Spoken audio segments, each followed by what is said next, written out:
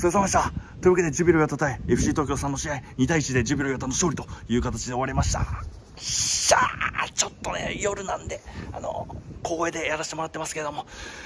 いや本当によかった。今日ね引き分けでも負けても、えー、降格が決定するというような状況でどうしても絶対勝たなければいけないというような試合であったんですけれども1点先行されながらも2点取って逆転して勝つということで非常に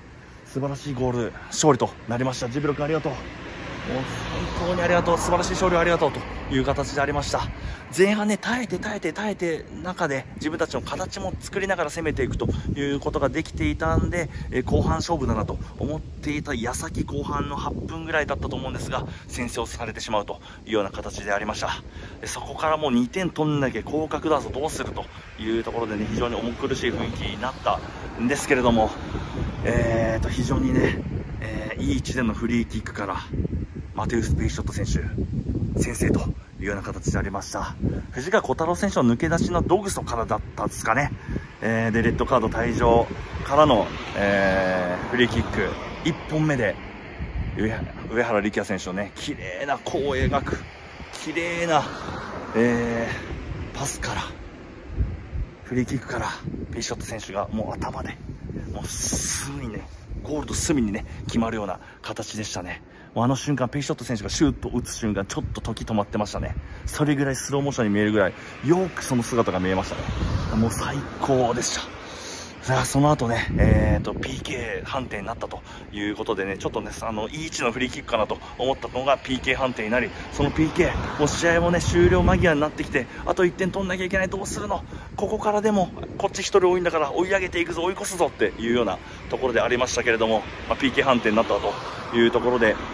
えー、最初ね、えジャメイン選手がボール持ってたんですが、山田裕樹選手に、え譲るような形でしたね。それを山田裕樹選手が綺麗に PK も決めてくれるんですね。キーパーの逆つくような感じでありましたけども、あれまたしても山田裕樹選手が、あの、利き足と逆の左で蹴ってましたね。あの、トリック PK っていうふうに前もやった時言ってましたけども、まあ、そんな形の、えー、ゴールが決まるということで、もう、なんていうんですか、山田宏樹選手がね、あの、引退を発表されてて今日もセレモニーがあったんですけれども、もうあの、裕樹が PK を決めた瞬間、もうなんだ蹴る前からみんなうるうるしてて、決めた瞬間もう周り全員大号泣、僕も大号泣、もうタイタニックより泣けるみたいな、あの花よりも泣いたみたいなね、感じの状況でありました。もう非常に素晴らしいゴールでしたね。とても緊張する場面だったと思うんですよ。あれで外してたらもしかしたら今日降格が決まってたかもしれない。そんな大事な PK を、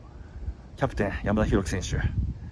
ヤマハスタジアムでプロとしての最後の、えー、試合で決めきってくれる。さすがだと思います。その背番号10番の、えー、高み、誇りというものをね、見せてくれたというふうに思っております。素晴らしいゴールでありました。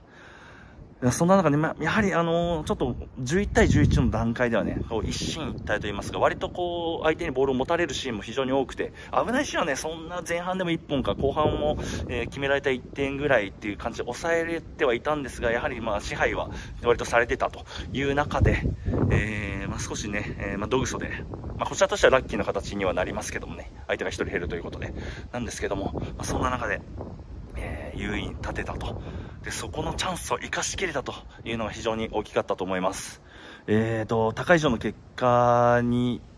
よってですが、柏さんが今日引き分け、新潟さんが今日負けということで、ジュビロが、勝ち点38まで上がった。で、その2チームは41までということで、勝ち点3差という形になりました。まあ、相変わらずね、他力本願というところはあるんですけれども、まだまだやれるってところをね、見せてくれましたし、今日も社長もセレモニーで言ってましたが、状況を繋いでくれたんですよね。最終節まで、どうしても厳しい状況には変わりないんですけども、最終節まで望みが繋がりました。モチベーションはやっぱみんな上がってると思いますよ。いける、やれるってとこね、見せてくれると思うんで、可能性がある限り、状況は厳しいですけども、やってやろうじゃねえかっていう気持ちが今日一心に、えー、もうものすごい勢いでね、こう、みんな上がったんじゃないでしょうか。やれるぞ、いけるぞっていうね、気持ちにみんななったんじゃないでしょうか。僕も、よりな、なりました。いけるかもしれない。っ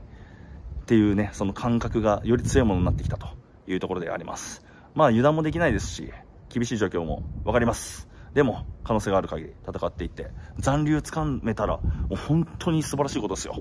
あの状況からひっくり返したぞっていう風になるし、誇れる順位ではないかもしれないけど、でも残った、この土俵際いっぱいを跳ね返した、ひっくり返したぞっていうのがね、自信にもつながると思いますんで、やってやりましょう。2節。鳥栖さんね、今日0対3で勝っててね、なんかこう、強敵なんですよね、普通に。全然舐めれない強敵なんですけれども。でも、ジュビロ磐田が意地というものを見せてくれて、それで勝ってくれて、残留掴んだら最高じゃないですか。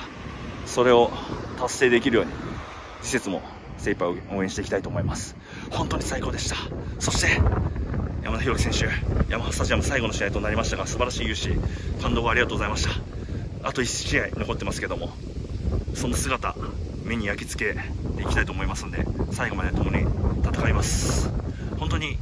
まああと1試合ありますけども、えー、現役生活お疲れ様でした残り1試合で逆境を跳ね返してやりましょう以上ですお疲れ様でしたじゃあねジュビロ君また来週。勝ちましょう。さよなら。